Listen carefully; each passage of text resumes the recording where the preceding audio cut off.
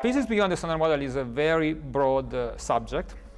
Uh, first of all, what is the standard model? So the standard model is our best description of nature at the smallest length scale.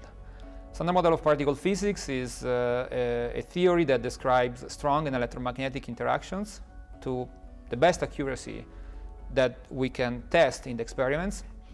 He passed all the collider tests over the last 40 years, so it's a theory that is very successful. It's also very elegant. You can write down the equation of a standard model on a T-shirt or on a coffee mug. You, you, you, you see, you visit physics centers around the world, and in the gift shop, they give you this, if, if you buy, of course. And, uh, and it's really uh, a fantastic theory, but it is also a theory with many limitations. One limitation is, uh, for example, what is the dark matter made of? Because none of the standard model particles can be a dark matter, so that's clearly one limitation.